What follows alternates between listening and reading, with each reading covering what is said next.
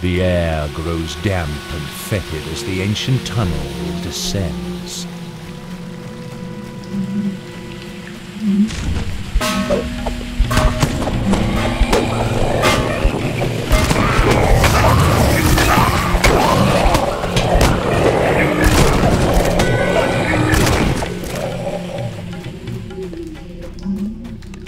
The tunnel splits here.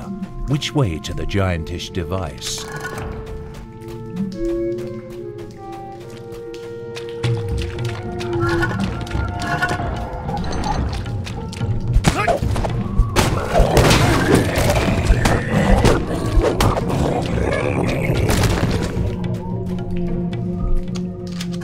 The sound of distant snoring warns you that you are not alone here. If you're careful, you may be able to take the sleeping guards by surprise.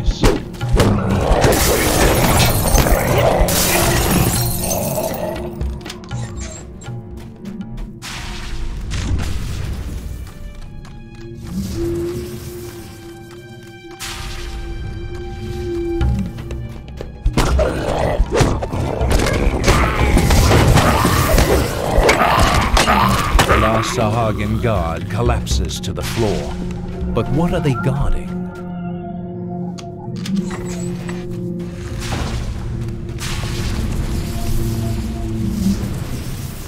The extravagant gong in this room looks capable of truly ear-shattering noise.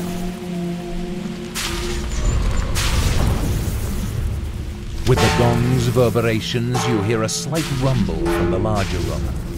Then it stops.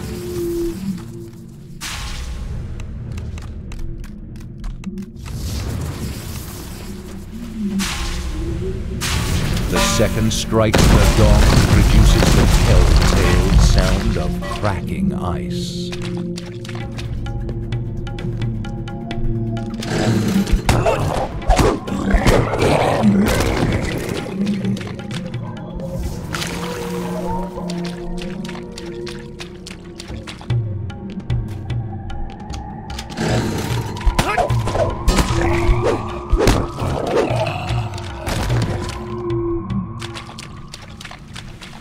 You spot a rusty hatch submerged in the putrid water.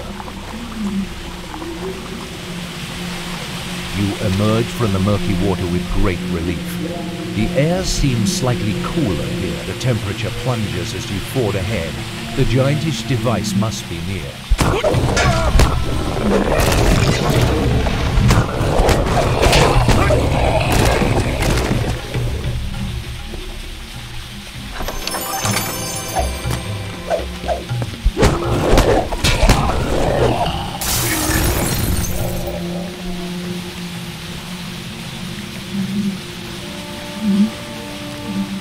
Ahead is the giantish device. The freezing mists it is spewing are directed the wrong way. With the right timing, you can get close enough to redirect them.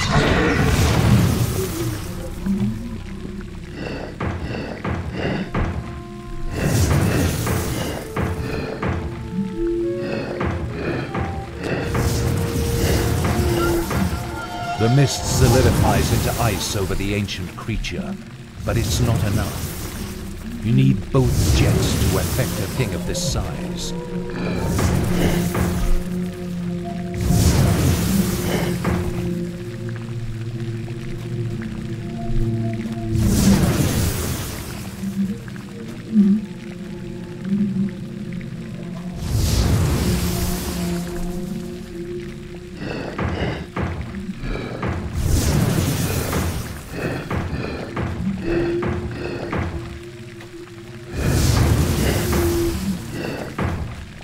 A layer of ice forms over the ancient creature, guaranteeing its slumber.